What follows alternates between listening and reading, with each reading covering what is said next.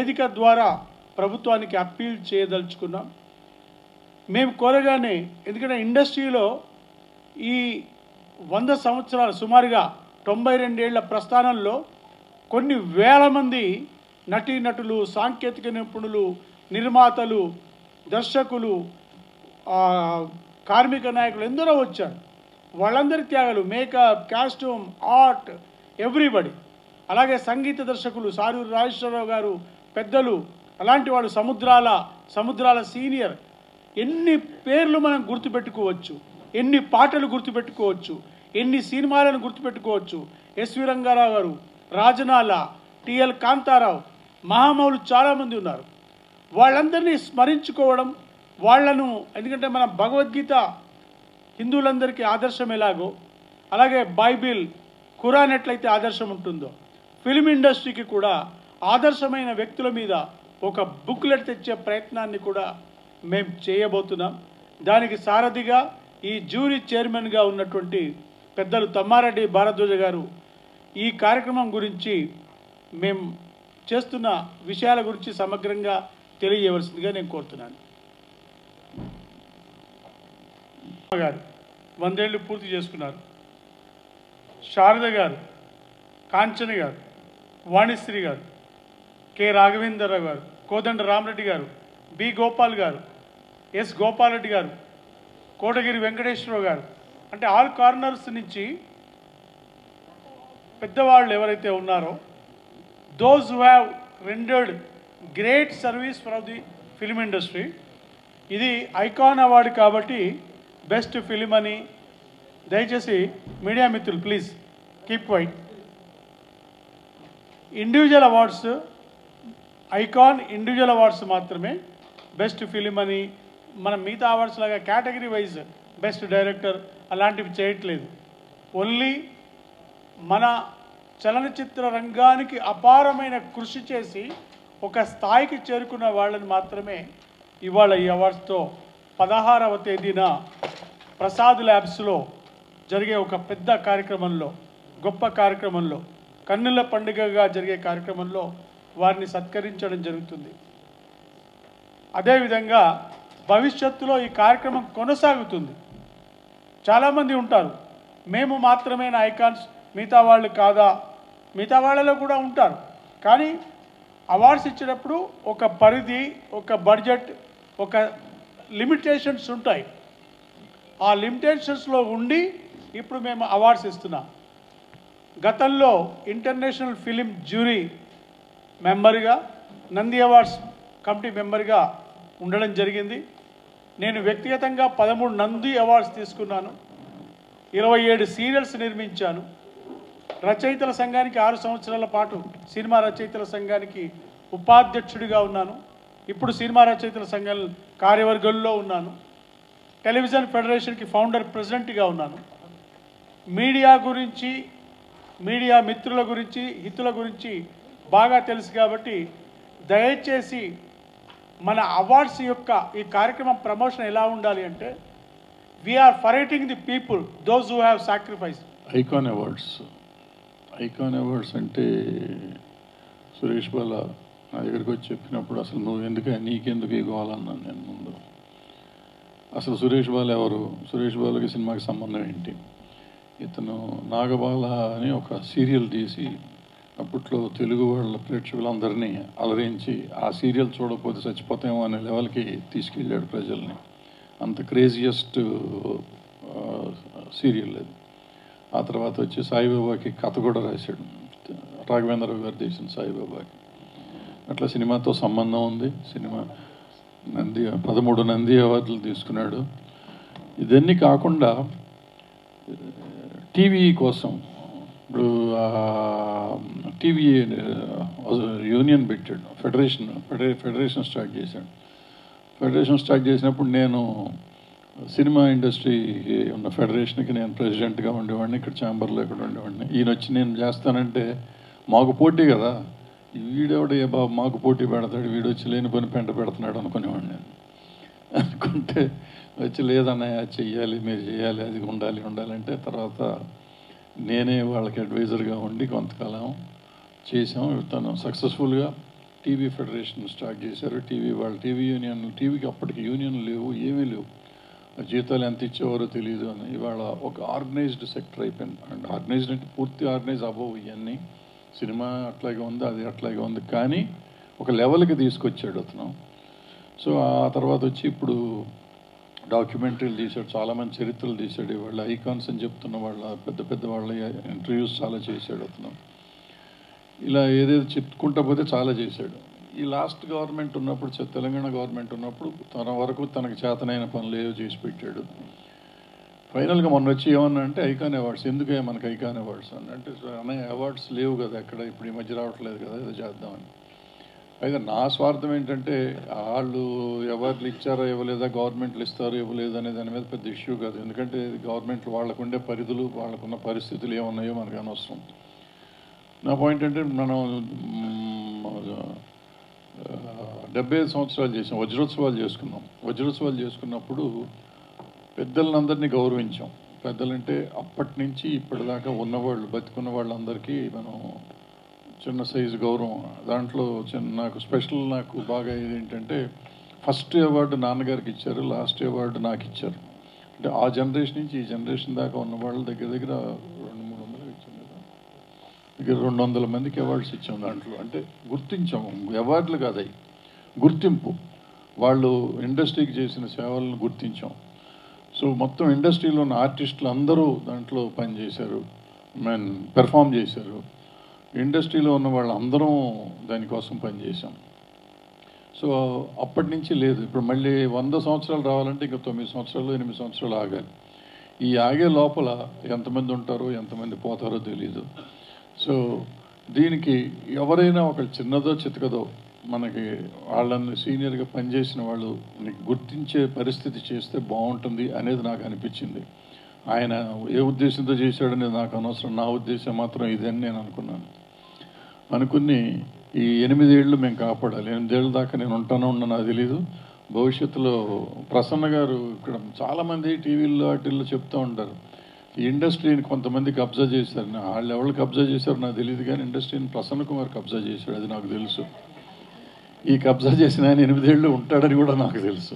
So వందేళ్ళు ఆయనే చేస్తాడు. ఆయన ఆధ్వర్యంలో జరుగుతుంది. అంటే ఆయనే చేస్తాడు కదా. ఆయన ఆధ్వర్యంలో ఇండస్ట్రీ నడిపించగలడు నడిపించే స్థాయి ఉన్న మనిషి కాబట్టి. ఈ చరిత్రని మనకి చరిత్ర సరిగ్గా సమగ్రంగా లేదు. అంటే ప్రొడ్యూసర్స్ కౌన్సిల్ చరిత్ర చాలా వరకు రాసి పెట్టారు బట్ అది పదిహేళ్ళు అయిపోయినట్టుంది. దాన్ని చేయాలి. ప్రభు ఆల్రెడీ కొంతకాలం నుంచి ఈ చరిత్రలు ఏ చేస్తున్నాడు. సో ఈ సందర్భంగా నా ఉద్దేశం ఏంటంటే ఈ వందేళ్ళ చరిత్ర తీసుకురావాల్సిన బాధ్యత కూడా ఛాంబర్ది ప్రొడ్యూసర్ కౌన్సిల్ది. అంటే మన ఇట్లా పబ్లిక్గా నేను చెప్పకూడదు కానీ ప్రసన్నది ఇతను ఇతను తప్ప చక్రం తిప్పేవాళ్ళు లేడు ఈ ఊళ్ళో. ఏ రకంగా అయినా కానీ సో ఆ జర్నలిస్ట్గా ప్రభు కూడా అలాంటి చక్రాలు తిప్పుతూ ఉంటాడు. సో వీళ్ళిద్దరిని ఎత్తిన కొంత బాధ్యత వేసాం తర్వాత వాళ్ళు ఏం చేస్తారు వాళ్ళు ఏం కష్టపడతారు నాకు అనవసరం అనుకోండి. చేస్తారని నమ్ముతున్నా. ఇద్దరు నాకు ఆప్తులు ఇద్దరు. వాళ్ళిద్దరు చేస్తారని చెయ్యాలని కోరుకుంటూ ఈ తొమ్మిది ఎనిమిదేళ్ళు వాళ్ళు నడిపించేదాకా తీసుకురావాలి. దీనికి వివిఆర్ కన్స్ట్రక్షన్స్ వివిఆర్ గారు ముందుకొచ్చినందుకు సంతోషం. ఆయన కృతజ్ఞతలు చెప్తూ మనం ఎంత ఎందుకు ఇదంతా చెప్తున్నానంటే హెచ్ఎం రెడ్డి గారు మాధ్యుడు అని మనం అంటాం తెలుగు సినిమాకి. ఆ సినిమా రిలీజ్ ఎప్పుడు అంటే రిలీజ్ చేసి మేము సెప్టెంబర్ ఏదో డేట్ వేసేసుకొని మనం సినిమా డే అని మేము పెట్టాం. పెడితే జయదేవ్ గారు తర్వాత రీసెర్చ్ చేసి కాదండి ఫిబ్రవరి ముప్పై రెండు అని చెప్పి పేరు మార్చి డేట్ మార్చి ఇరవై ఇరవై రెండు అని చెప్పి డేట్ మార్చాం సో ఇది ఏంటంటే మనకి HM Reddy garu fifty years of film industry చేసినప్పుడు ఆయన బతుకున్నారు. బట్ మనం ఈ చ- చరిత్రను రాసుకోలేకపోయాం. సో నేను ఇప్పటికైనా అడిగేది ఏంటంటే మిత్రులు జర్నలిస్ట్ మిత్రులను కానీ ప్రభు గారిని కానీ అందరినీ అడిగేది ఏంటంటే ప్రసన్న గారిని కూడా ఈ సినిమా ఇండస్ట్రీ చరిత్ర అంతా సమగ్రంగా తయారు చేయాల్సిన బాధ్యత ఉంది. దీన్ని రికార్డ్ చేసి ఎట్లాగే వాళ్ళ టెక్నాలజీ వచ్చేసిందిగా టెక్నాలజీ మన సోషల్ మీడియాలో పెట్టాల్సిందిగా వీలైతే పుస్తకం వచ్చే పుస్తకం వచ్చేయటానికి డబ్బులు ఎక్కువ తినకుంటే అనుకుంటే దీనికన్నా సోషల్ మీడియాలో ఉన్న పెట్టాలని కోరుకుంటూ ఈ అవార్డులు నాగబాల్ సురేష్ గారు వివిఆర్ గారు ఈ ఎనిమిదేళ్ళు కంటిన్యూ చేస్తే అప్పటిదాకా సినిమా ఇండస్ట్రీ రోజు చేయమంటే చేయరు. ఎందుకంటే ఛాంబర్కిను ప్రొడ్యూసర్ కౌన్సిల్కి ఉండే సమస్యలు చాలా ఉన్నాయి. దీంట్లో కాదు. బట్ వందేళ్ళు వాళ్ళు గ్యారంటీగా చేస్తారు కాబట్టి అప్పటిదాకా అందరికీ ఉన్నవాళ్ళు పెద్దవాళ్ళందరినీ గౌరవించే అవకాశం ఉంది కాబట్టి గౌరవిస్తారని ఆ గౌరవాన్ని కూడా ఇంకా గౌరవ పదప్రదంగా ఫంక్షన్లు చేస్తారని చెయ్యాలని కోరుకుంటూ సెలవు తీసుకుంటాం గౌరవబాబు ముఖం చూపించి మాట్లాడితే బాగుంటుంది ఎవరైనా కానీ. Face face please Shiva Shiva the great. Award ఫంక్షన్లు గొడవ అవ్వట్లేదు తండ్రి? ఎక్కడవుతుందో నాకు తెలియదు ఎవరికి గొడవ అవుతుందో తెలియదు ఎప్పుడు గొడవ అయిందో కూడా నాకు తెలియదు ఎందుకంటే ఈ అవార్డులు మేము ఐకాన్ అవార్డులు అంటున్నాం. నువ్వు ఐకాన్ అవ్వలేవు ఇప్పుడు అప్పుడే ఇంకొక ఇరవై ఏళ్ళు ఉంది నీకు టైము. అప్పుడు నీ సంగతి చూద్దాం. అది కాదు కానీ ఇప్పుడు ఏంటంటే ఏ అవార్డులు అయినా కానీ ఇక్కడ సమస్య ఏంటంటే మనం ఒక జ్యూరీని పెడతాం. మనం అంటే మనం కాదు గవర్నమెంట్ అయినా ఇంకోళ్ళైనా ఇంకోళ్ళైనా. నేషనల్ అవార్డ్స్ అయినా కానీ ఈవెన్ ఫిలింఫేర్లు అని మీరు చెప్పి గొప్పగా ఉన్న ఫిలింఫేర్లు అయినా కానీ వీటన్నిటికీ జ్యూరీని పెట్టినప్పుడు ఆ జ్యూరీ స్టేట్ ఆఫ్ మైండ్ ఎట్లా ఉంటే అట్లా అవార్డ్స్ వస్తాయి. నీ నాకు నచ్చిన సినిమా మీకు నచ్చిన సినిమాకి అవార్డు రావాలి అనుకుంటే రాకపోవచ్చు. నేను చాలాసార్లు నాకు రాలేదని నేను చాలా బాధపడ్డ రోజులు చాలా ఉన్నాయి. బట్ ఏంటంటే మనకి వయసు అయిపోయినాక ఇప్పుడు అర్థమవుతుంది. ఎందుకు ఇవ్వాలి నేను చైర్మన్ చేశాను? నేను చైర్మన్ చేసినప్పుడు నేను నన్ను డైరెక్ట్ ఒక ప్రొడ్యూసర్ గారు వచ్చాడు గారు. నిజంగా చాలా గొప్ప సినిమా తీశాడు ఆయన. నాకు ఎందుకు ఇవ్వరండి మీరు అని అడిగాడు. ఎందుకు ఎవరంటే జ్యూరీకి వచ్చేటప్పుడు జ్యూరీలో ఒక గైడ్ లైన్స్ కొన్ని ఉంటాయి. ఆ గైడ్ లైన్ ప్రకారం కొన్ని సినిమాలకు మేము ఇవ్వకూడదు కొన్ని సినిమాలకి ఇవ్వచ్చు. కొన్నిటికి కొన్నిటికి వేరు వేరే ఉంటాయి. ప్లస్ మెజారిటీ ఉంటుంది జూరీలో మెజారిటీ ఉంటుంది. వాళ్ళ మైండ్ స్టేటస్ ఉంటుంది దాన్ని బట్టి ఉంటాయి. అందుకని వాళ్ళు వచ్చిన అవార్డులు అన్నీ తప్పు అవ్వు అన్నీ రైట్ అవ్వవు. రైట్ అయినా ఇప్పుడు మనం ఎట్లా తీసుకోవాలంటే ఇది సినిమా ఇండస్ట్రీని ఒక ఫ్యామిలీ అంటాం. నిజంగా ఫ్యామిలీయా కాదా? కాదు కానీ మనం అంతా ఒక పని చేస్తున్నాం కాబట్టి ఒక ఫ్యామిలీయే. వీళ్ళల్లో ఎవరికి వచ్చినా మనకు వచ్చిందనే ఒక ఆనందం మనం ప్రదర్శించగలిగితే అంత మనసు పెద్దది చేసుకోగలిగితే మనకి బాగుంటుంది. అంతేగాని మా ప్రసన్నకు వచ్చిందని నాకు కోపం వచ్చింది నాకు వచ్చిందని మా ప్రసన్నకు కోపం వచ్చి మేము ఇది అలిగామనుకో నువ్వు చెప్పినట్టు అల్లర్లు అవుతాయి. దయచేసి అటువంటి అల్లర్లు చేయొద్దు. ప్లస్ మేము ఇచ్చేది ఏంటంటే మాకు మేము ప్రస్తుతం ఐకాన్స్ ఉన్నాం. భవిష్యత్తులో మీరు చెప్పిన ఆ అవార్డులు కూడా ఇస్తాము. అప్పుడు తిడితే తిట్టారు కానివ్వండి దానికి మేము ప్రిపేర్ అయ్యా ఉన్నాం. ఎవరు తిడితే వాళ్ళు తిడతారు. వాళ్ళ ఇష్టం వాళ్ళది మా ఇష్టం మాది. అవార్డు ఇచ్చేది మేము మాది. సో ఐకాన్ అంటే ఐకాన్ ఒకటే కేటగిరీ. ఒకే ఐకాన్. అందరూ ఐకాన్. అంటే సీనియర్స్ని గౌరవించడం అనేది ముఖ్యమైన ఉద్దేశం అంతే తప్ప వేరే ఉద్దేశం ఏం లేదు. సో ఎవరైనా అవ్వచ్చు. ఎవరైనా ఆర్టిస్టులు టెక్నీషియన్లు ఎవరైనా ఉండొచ్చు. Any technician any artist any producer అట్లా మొత్తం ఇండస్ట్రీలో ఉన్న అన్ని ఈవెన్ ఎగ్జిబిటర్స్ డిస్ట్రిబ్యూటర్స్ని కూడా చేసుకోవచ్చు మనం. మనం వీళ్ళు వాళ్ళు అని లేదు. మనం మన వజ్రోత్సవాలు అప్పుడు మేము ఎట్లా చేసామో అట్లాగే అలాంటి ఉద్దేశంతోనే ఇది కూడా చేయటం. సో అందరినీ గుర్తించాలి అనేది మా ఉద్దేశం. అంతే తప్ప ఇక్కడ ఎవరికో ఇచ్చేసి దాన్ని ఏదో చేసుకోవాలి అనేది ఇక్కడ ఏం లేదు. అలాంటిది జరగదు. జరిగినా అది ఉద్దేశపూర్వకంగా జరగదు అనేది శివ గారు మీరు ప్రశ్న అడిగి అక్కడ సొల్లుగోలు చెప్పకూడదు సార్. వింటా ఉండాలి. సార్. అని మీరు అనుకుంటున్నారు సార్ మేము అనుకోవట్లేదు సార్. మేము చాలా హ్యాపీగా ఉన్నాం బ్రహ్మాండంగా చేసి సార్. మేము చేసిన ఫంక్షను మీ భారతదేశ చరిత్రలో కానీ ఇంకే చరిత్ర ఏ దేశ చరిత్రలో కానీ అంత గొప్ప ఫంక్షన్ చేశారు. ఒకళ్ళిద్దరు సంఘటనలు జరిగి ఉంటాయి జరగలేదని నేను అంటున్నాను. ఆ సంఘటనలు పెద్ద ఇష్యూ కాదు. మనం బ్రహ్మాండంగా చేసిన దాన్ని ఒక్క చిన్న పొరపాటు జరిగితే ఆ పొరపాటుని గురించే ఎక్కువ మనం ఉద్దే పెంచడం అనేది కరెక్ట్ కాదు. అలాంటిది జరిగి ఉంటుంది అప్పుడు జరిగిపోయింది మర్చిపోయారు కూడా అందరూ. మళ్ళీ వాటిని కెలికి అనవసరంగా దాన్ని మనం పుండు చేసుకోవటం అనవసరం.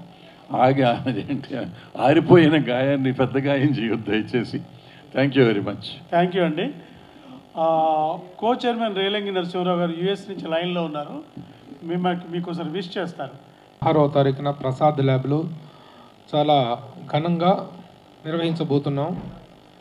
ఈ అవార్డ్స్ జ్యూరీలో నేను ఒక సభ్యుడిగా ఉన్నందుకు చాలా సంతోషిస్తున్నాను. ఎందుకంటే ఇన్ని సంవత్సరాలుగా తెలుగు చలనచిత్ర పరిశ్రమతో నేను ఏర్పరచుకున్నటువంటి ఒక అనుబంధానికి ప్రతీకగా ఈ జ్యూరీలో నేను ఉండటం అనేటువంటిది ఆ ఎలా సెలక్షన్స్ అనేటువంటి కూడా ఇందాక మిత్రులు అడిగారు.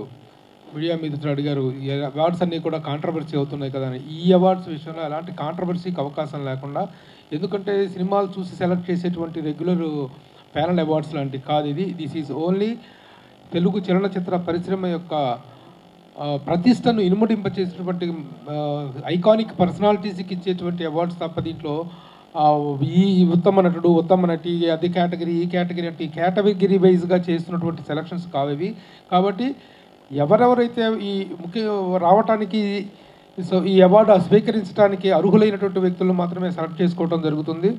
ఆ విధంగా పదహారవ తారీఖున జరగబోయేటువంటి ఐకానిక్ అవార్డ్స్ అనేటువంటి వాటిలో చాలామంది చలనచిత్ర ప్రముఖులు పాల్గొంటున్నారు. వాళ్ళందరికీ కూడా అవార్డ్స్ ఇవ్వటం అనేటువంటి జరుగుతుంది. ఆ అలాగట్స్ సెలక్షన్లో మేము చా- పాటించినటువంటి ఒక స్టాండర్డ్స్ అనేటువంటి రాజును రాజున జరగబోయేటువంటి కార్యక్రమం యొక్క విశిష్టతను పెంచే విధంగా ఉంటాయి. అవార్డ్స్ యొక్క గౌరవాన్ని పెంచే విధంగా ఉంటాయి తప్ప కేవలం ఏదో అవార్డ్స్ ఇవ్వటం కోసం ఫర్దా సేక్ ఆఫ్ అన్నట్టుగా ఈ కార్యక్రమం నాటి కార్యక్రమం ఉండదు.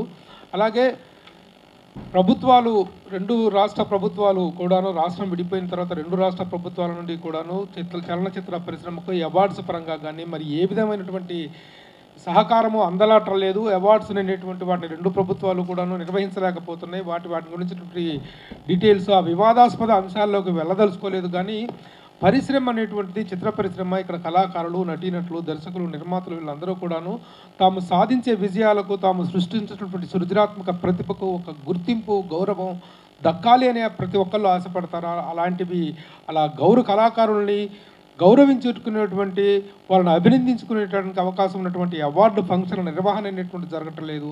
ఆ కారణాలలోకి ఆ లోతుల్లోకి మేము వెళ్ళలేదు కానీ మేము చేసినటువంటి కార్యక్రమంలో మాత్రం గొప్ప ఔచిత్యం ఉంది. ఔచిత్యభరితంగా ఎ- ఎవరెవరిని సెలెక్ట్ చేసుకోవాలో ఆ విధంగా చేసుకొని మేము కార్యక్రమాన్ని ఘనంగా నిర్వహిస్తున్నాము. దాని నుంచి మొదలెట్టుకుని బాంబే షోలాపూర్ కొల్హాపూర్ నుంచి చెన్నైకి వచ్చింది.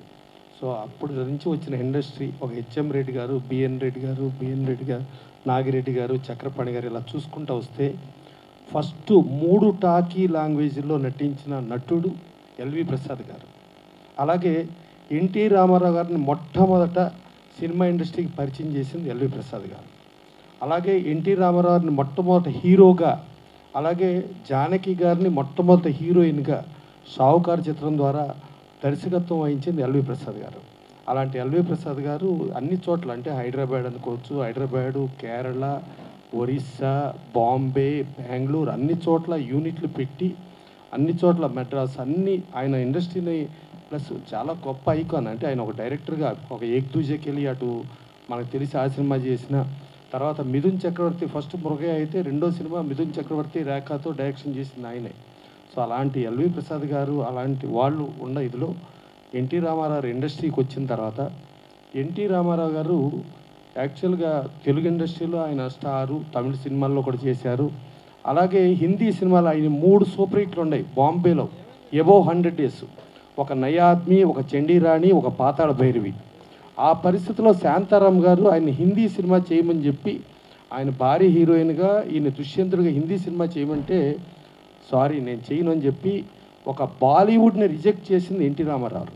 అలాగే ఒక హాలీవుడ్ వాళ్ళు వచ్చి లార్డ్ కృష్ణ చేయండి సార్ మీరు మీరు చేస్తే కరెక్ట్గా ఉంటుంది అంటే నో సారీ నేను హాలీవుడ్ చేయను బాలీవుడ్ చేయను నా తెలుగు వాళ్ళకే నేను నేను ఇదైపోతాను అని చెప్పి వాళ్ళు ఆయన ఎక్కడ చూసినా ఇవాళకి ఆయన మనిషి ఉన్నా లేకపోయినా ఇవాళకి నడుస్తుంది ఆయనే. ఇక దర్శకుడిగా వస్తే ఫస్ట్ సినిమా సీతారామ కళ్యాణం దర్శకుడిగా చేశారు. కానీ దర్శకుడు కార్డు ఉండదు. రెండో సినిమా గులేబా కావళి కథ చేశారు. దర్శకుడు కార్డు ఉండదు. అప్పుడు South Indian film directors association director card లేకపోతే డైరెక్టర్కి ఏదో అవమానంగా ఉంది అని చెప్పి ఆయనకి అత్యంత సన్నిధి ఆయన్ని ఏమి చేయలేరు ఎందుకంటే ట్వంటీ ఫోర్ క్రాఫ్ట్స్ ఆయనే సృష్టికర్త. ఎవ్వరూ ఆయన ఆపలేరు. ఆ పరిస్థితిలో పుల్లయ్య గారు శాంతకుమార్ గారి భర్త పుల్లయ్య గారిని పంపించి సార్ కొంచెం మీరు పేరు వేసుకోండి సార్ డైరెక్టర్ల అసోసియేషన్ అంతా ఫీల్ అవుతుంది. అని అంటే నేను ఒకళ్ళని అవమానించాలని కాదు డైరెక్టర్ అని అంటే సినిమా చేసినోడల్లా డైరెక్టర్ కాదు. మూడు సినిమాలు ప్రజామోదం పొంది సూపర్ హిట్ అయితే ఎన్టీ రామారావు బిఏ మూడు సంవత్సరాలు నేను డిగ్రీ పాస్ అయితేనే నాకు ఆ డిగ్రీ వస్తుంది. అలాగే మూడు సినిమాలు సూపర్ హిట్ అయితేనే నేను డైరెక్టర్గా నాకు డిగ్రీ వస్తుంది అని అనుకుని నేను సినిమాలు చేస్తున్నా. సరే ఇప్పుడు ఈ మూడో సినిమా నైంటీ పర్సెంట్ అయిపోయింది. ఈ సినిమా మీరు ఫీల్ అవుతున్నారు కాబట్టి దీంట్లో పేరేసుకుంటున్నా. ఒకవేళ ఈ సినిమా ఫెయిల్ అయితే నేను అన్ని క్రాఫ్ట్ల నుంచి సినిమా ఇండస్ట్రీ వదిలి వెళ్ళిపోతానని చెప్పి ఆ మూడో సినిమా చేశారు. ఆ మూడో సినిమా శ్రీకృష్ణ పాండవీయం అంటే యాక్చువల్గా చెప్పాలంటే మన దాసనారాయణ గారు రాఘవేంద్ర గారు వీళ్ళందరికంటే పది సంవత్సరాల ముందు డైరెక్టర్గా ఎంటర్ ఎంటర్ అయ్యి డైరెక్టర్గా హిస్టరీగా చెప్పుకోవాలంటే ఎన్టీ రామారావుని చెప్పుకోవాలి. మూడో సినిమా శ్రీకృష్ణ పాండవీయం మూడు సినిమాలు సూపర్ హిట్ల తర్వాత ఇక రెగ్యులర్గా ఆయన దానవరస కన్ను వేసుకోవచ్చు బ్రహ్మంగారి చరిత్ర వేసుకోవచ్చు. ఆ రోజు వచ్చిన ప్రజలు ఆ రోజు వచ్చిన దాన్ని వాళ్ళ కలెక్షన్లో చూసుకుంటే చరిత్రలో చరిత్రలు అంటాం. చరిత్ర లేదు అదొక్కటే చరిత్ర. ఆయనే చరిత్ర సృష్టికర్త. అలాంటి ఎన్టీ రామారావు ప్లస్ ఇంకోటి అంటే ఇండస్ట్రీ ఇక్కడికి వచ్చిన తర్వాత ఇండస్ట్రీ మనకు Sarathi studios first south Indian film టోటల్గా south Indian film chamber of కామర్స్కి మొట్టమొదట అధ్యక్షుడిగా అన్ని భాషలతో కూర్చుంది. మన కోడవల్లి రామబ్రహ్మం గారు ఆయన కూర్చున్నాడు. ఆయన ఫస్ట్ ప్రెసిడెంట్గా ఆయన చైర్ చేశాడు. మనకు అప్పట్లో సారథి స్టూడియోస్ భాగ్యనగర్ స్టూడియోస్ అవి ఉండేవి. ప్లస్ ఎన్టీ రామారావు ఇక్కడ గజం నేల కూడా ప్రభుత్వం దగ్గర తీసుకోకుండా ఆయన సొంతంగా కొనుక్కొని సొంతంగా స్టూడియో పెట్టుకున్నారు. ఫస్ట్ ముషీరాబాద్ స్టూడియో ప్లస్ ఇక్కడ తెలంగాణలో ఉన్న చాలామందికి ఉపాధి. ఒక ఫైట్ మాస్టర్ కావాలి. ప్రభు అనగానే సంగారెడ్డి కళ్ళు కాంపౌండ్లోంచి ప్రభు గౌడ్ వచ్చేవాడు. కళ్ళు కాంపౌండ్లో ఉన్న కళ్ళు తాగే వాళ్ళందరూ ఫైటర్స్కి వచ్చేవాళ్ళు. అలా ప్రభు గౌడు. అలాగే డ్యాన్సర్స్గా చూస్తే ఒక ముక్కురాజు అలా తెలంగాణలో ఎక్కువ మందికి ఉపాధి అవకాశాలు కల్పించింది ఎన్టీ రామారావు. సో ఎన్ని చరిత్రలో ఎన్ని చరిత్రల్లో సో ఇవాళ మనం త్రిపుల్ ఆర్ వచ్చేసింది ఆస్కార్కి వెళ్ళిపోయాం లేకపోతే బాహుబలి వచ్చేసింది కాదు. ఇప్పుడో చరిత్రలోనే మన చరిత్రలు ఇప్పుడు సాధించేసాం అలాగే మన కృష్ణ గారు మోసగాడకు మోసగాడని సినిమా చేశారు. మోసకారునికి మోసకారునని అలాగే ఇంగ్లీష్లో కూడా డబ్ చేశారు. అట్లా చూసుకుంటే ఆ రోజుల్లోనే పాన్ ఇండియాలు సృష్టించిన సృష్టికర్తలు ఉన్నారు. ఇవాళ ఏంటంటే మీడియా వచ్చింది టెక్నాలజీ వచ్చింది. ఇవాళ వచ్చిందని అనుకున్నాం కానీ చరిత్ర రోజుల్లోనే మనం సాధించాం. అది డెఫినెట్గా అన్ని చరిత్రలు అన్నీ పర్ఫెక్ట్గా చేస్తూ భరద్వాజ్ గారు చరిత్ర పుస్తకాన్ని చేద్దామని చెప్పి అన్నారు. ఛాంబర్ ఈసీలో కూడా పాస్ అయ్యింది. డెఫినెట్గా అందరం కూర్చుని అలా ఆ చరిత్రలన్నింటినీ ఇవాళ ఉన్న మీడియాకి ఇవాళ ఉన్న టెక్నాలజీకి వస్తే అసలు ఎక్కడి నుంచి చరిత్ర పుట్టింది? ఎట్లా చరిత్ర వెళ్తుంది? ఏంటి తెలుసుకోవాలి? రామారావు ఒక ముఖ్యమంత్రిగానే మనం చూస్తున్నాం. ఇవాళ ఆయన ముఖ్యమంత్రిగా ఉండబట్టే ఇవాళ ఫిలిం నగర్ డెవలప్ అయినా ఇక్కడ ఎంత డెవలప్ అయినా ఇదంతా జరిగిందంటే ఆజ్యులు యాస్టిల్ చూసుకుంటే చెన్నారెడ్డి గారు ఆ రోజుల్లో దుక్కుపేట మోసుకున్నారు దుక్కుపేట మోసుకున్నారు ఫస్ట్ ఫౌండర్ ప్రెసిడెంట్ ఆయన ఈ ఫిలిం నగర్ హౌసింగ్ సొసైటీకి ఆయన కాసు బ్రహ్మాందరెడ్డి గారు ఆయన క్లాస్మేట్స్ అవ్వటం మూలంగా బ్రహ్మాందరెడ్డి గారు కానీ చెన్నారెడ్డి గారు కానీ వీళ్ళందరూ చేసిన మూలంగా ఈ ఫిలిం నగర్ ఏర్పడింది. సో అట్లా దుప్పాడు మోస్తున్నారు ఇంతమంది ఉన్నారు. అలాగే ఆ రోజు ఫౌండర్ సెక్రటరీ కానూరు రంజిత్ కుమార్ గారు మన కానూరు దామోదర్ ప్రసాద్ గారు వాళ్ళ నాన్న వీళ్ళందరి చరిత్రలో అన్నీ పర్ఫెక్ట్గా చూసుకుని చేద్దాం. డెఫినెట్గా ఇంకోటి మా శివ చెప్పినట్టు డెఫినెట్గా కాయలున్న చెట్టుకే రాళ్ళు పడతాయి. అడవిలో సింహం రాజున్న కుక్కలు నక్కలు తోడేలు కూడా ఉంటాయి. అవి కుక్కలు నక్కలు తోడేళ్ళు తోసే తోసేద్దాం అట్లా అడవి నుంచి తోలేద్దాం అంటే కుదరదు ఉంటాయి అవి. అలాగే సమాజంలో మనుషులు ఉంటారు కుక్కలు ఉంటాయి. సో మురుగుతూ ఉంటారు. ఆ మురుగుడు మురుగుడిని పట్టించుకోవద్దు. ఇక నంది అవార్డ్స్కి వస్తే నేను ప్రభు గారు కూడా నంది అవార్డ్స్లో ఉన్నాం. ఆ రోజు ప్రభుత్వం నుంచి ఎవ్వరూ సంబంధం లేదు. ఒక్క పాయింట్ జీరో వన్ పర్సెంట్ కూడా ప్రభుత్వాధికారులు కానీ ముఖ్యమంత్రి కానీ గవర్నమెంట్ కానీ ఇన్వాల్వ్మెంట్ లేకుండా మేమే చేసాం ఆ రోజున. Very clear. మేమే ప్రూఫ్. చేసిన దాంట్లో క్లియర్ కట్గా ఇంకోటి ఏంటంటే చంద్రబాబు నాయుడు గారు సీఎం అయితే జయసుధ గారు వేరే పార్టీ ఆవిడ ఆవిడ చైర్మన్ చేశారు. కోడి రామకృష్ణ గారిని చైర్మన్ చేశారు. గిరిబాబు గారు వేరే పార్టీ ఆయన ఆయన చైర్మన్ చేశారు. అభ్యుదయ భావాల నిర్మాత పోకూరు బాబురావు గారిని చైర్మన్ చేశారు. అలాగే వేరే పార్టీ ఆవిడ జీవిత రాజశేఖర్ గారిని చైర్మన్ చేశారు. అంటే అక్కడ పార్టీలు చూడలా రాజకీయాలు చూడలా సినిమా ఇండస్ట్రీని చూసి చేశారు. కొంతమంది రాని వాళ్ళు మాకు ఇవ్వండి మాకు ఇవ్వండి అని చెప్పేది ఫోన్లు వస్తాయి మాకు. ఎందుకంటే భరద్వాజ్ గారు కూడా చెప్పారు ఎవరు ఫోన్ చేశారు. ఆ రాని వాళ్ళు చేసే రాళ్ళే విమర్శలు. మనకేమో ఆ విమర్శలతో కాలక్షేపం మనకు కూడా మీడియాకు కూడా కావాలి కదా. దాంతో మనం కాలక్షేపం చేయటం అవి రన్ అవ్వటం ఈ రొటీను. అందుకని దీని గురించి శివ నువ్వు ఎక్కువ పట్టించుకోవద్దు. నీకు డే ఫిలిం ఫేరు తెలుసు నైట్ ఫిలిం ఫేరు తెలుసు మన ఇద్దరికి తెలుసు కదా. అందుకని అవన్నీ పబ్లిక్గా మనం మాట్లాడకూడదు కదా నైట్ మ్యాటర్లో. అందుకని మనం సైలెంట్గా ఉన్నాం ఓకేనా? సరే అలా అవన్నీ జరిగినాయి. ఇవాళ సురేష్ కుమార్ గారు ఒక నిజాయితీతో ఎప్పటి నుంచినో మన తెలుగు సీరియల్స్ మన తెలుగు నటులు మన వాళ్ళు ఉండాలి. ఈ డబ్బింగ్ సీరియల్స్ పరాయి నటుల్ని పరాయి వాళ్ళు చేయకూడదు అని ఒక పోరాటం చేస్తూ ఓ సారథి స్టూడియోకి పిలిస్తే సారథి స్టూడియో పిలిచి పోలీసుల ద్వారా అప్పట్లో మన వాళ్ళు ఎవరో ఉన్న కేంద్ర మంత్రి ఇన్ఫ్లుయెన్స్తో ఏదో జరిగినట్టుంది. తీసుకెళ్ళి సంజీవ్ రెడ్డి గారు పోలీస్ స్టేషన్లో పెడితే అప్పుడు చదలవాడి శ్రీనివాసరావు మేము వెళ్ళి అక్కడ లోపల కూర్చోబెడితే పాలు పట్టిస్తున్న తల్లులు కూడా ఉన్నారు. లోపల స్టేషన్లో వేసి స్టేషన్లో వాళ్ళని బయటకు కూడా పంపించద్దని చెప్పారు. శ్రీనివాసరావు ఫైట్ చేసి ఇప్పించడం జరిగింది. తర్వాత వీళ్ళు ట్యాంక్ బండ్ మీద కూడా అమరనిహార దీక్షలు చేయడం జరిగింది.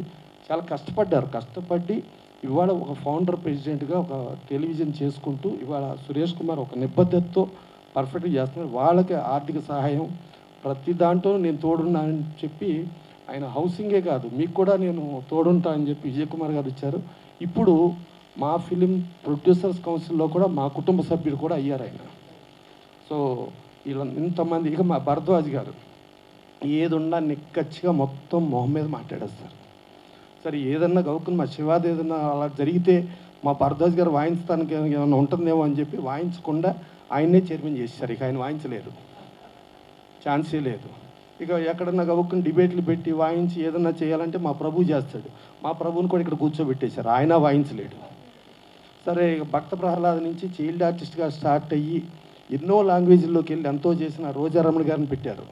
అలాగే దివ్యవాణి గారిని పెట్టారు. సో వీళ్ళందరినీ పెట్టారు. పెట్టి మీరు అన్నట్టు నూటికి నూరు పాళ్ళు ఏ ఒక్కళ్ళు వాక్కుండా ఉంటారంటే వాగుతారు. దయచేసి ఆ వాగిన వాళ్ళకి విలువ ఏంటో తెలుసుకుని విలువ ఇవ్వకండి.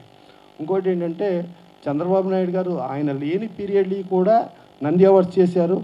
ఆ కంటిన్యూ చేశారు. చేస్తే మన ఇండస్ట్రీ ఎదవ వాగుళ్ళ మూలంగా వీళ్ళు ఇంత వాగుతున్నారు ఇంత ఇబ్బంది పెడుతున్నారని చెప్పి అక్కడ ఆపేశారు.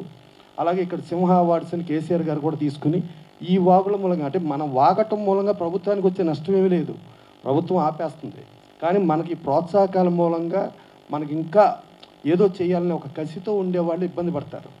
సో ఇండస్ట్రీకి ఒక మంచి అలాగే సమాజానికి ఒక మంచి తెలియచెప్పే వాళ్ళకి అవార్డులు కావాలి. ఇప్పుడు నేషనల్ అవార్డ్స్లో కూడా ఉంటాయి. ఇప్పుడు మేము నేను ఇండియన్ పనోరమాకి వెళ్ళా. వెళ్తే ప్రెస్ గ్యాలరీలో ఉండి ఏ సంవత్సరమైనా ఏదైనా కాంట్రవర్సీ ఉందేమో ఈ సంవత్సరం ఒక్క కాంట్రవర్సీ లేకుండా పర్ఫెక్ట్గా చేశారని చెప్పి ప్రెస్ గ్యాలరీలో ప్రెస్ మొత్తం లెగిసి నిలబడి టప్పట్లు కొట్టి పిచ్చుకున్న జ్యూరీకి నేను వెళ్ళి అటెండ్ అయ్యి వచ్చా. ఇది ఇంటర్నేషనల్ ఫిల్మ్ ఫెస్టివల్ గోవాలో జరిగింది. అలాగే బ్యా బెంగళూరులో బెంగళూరు ఇంటర్నేషనల్ ఫిలిం ఫెస్టివల్కి జ్యూరీ చైర్మన్గా అక్కడ జనరల్గా కర్ణాటక వాళ్ళని పెట్టి పెట్టుకుంటారు బయట వాళ్ళని పెట్టరు. దాంట్లో కేవలం ముగ్గురు పిలిచారు ఒకరు ఢిల్లీ ఒకరు కేరళ ఒకరు నన్ను. మిగతా స్టే స్టేట్లందరినీ తీసుకున్నారు. నేను పది సినిమాలు సెలెక్ట్ చేస్తే తొమ్మిది ఇండియన్ పనోరమా వచ్చింది. ఒక్కటి ఇండియన్ పనోరమా మిస్ అయ్యి అది మొత్తం నేషనల్ అవార్డ్స్ వచ్చింది. అది సూర్య సినిమా. ఆకాశమే అద్దుగా అని చెప్పి దాంట్లో హీరో హీరోయిన్. సో ఆ స్థాయి కలిగిన వాళ్ళు. అందుకని ఏదో అక్కడ ఏదో నంది అవార్డ్స్ మేము జ్యూరీలో ఉన్నాం. ఏదో కులాలని మతాలని ఎవడి ఇష్టాన్ని కాదు అంటే ఇవి ఈ తిట్లు ఈ మాట్లాడించడం కూడా ఒక స్పాన్సర్డ్ ప్రోగ్రామ్గా ఒక స్పాన్సర్డ్ పీపుల్గా చేస్తారు. ఆ చేసేదాన్ని దయచేసి మీడియా మీరు అర్థం చేసుకుని కుక్కల మొరుగుళ్ళొద్దు సింహం సింహం కాదు సింహం సింహధ్వనిని ఆలోచించండి. కుక్కల మొరుగుళ్ళొద్దు. Thank you.